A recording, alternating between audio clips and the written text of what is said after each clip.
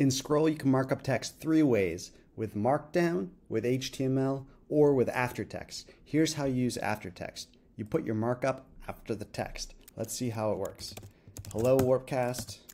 Let's put a link to warpcast.com. By default, it'll, it'll make the whole thing a link. Let's just make the Warpcast a link. Let's make the whole thing bold. Let's make the hello italic. Let's make the whole thing strike through. That's Aftertext. You put your markup after the text.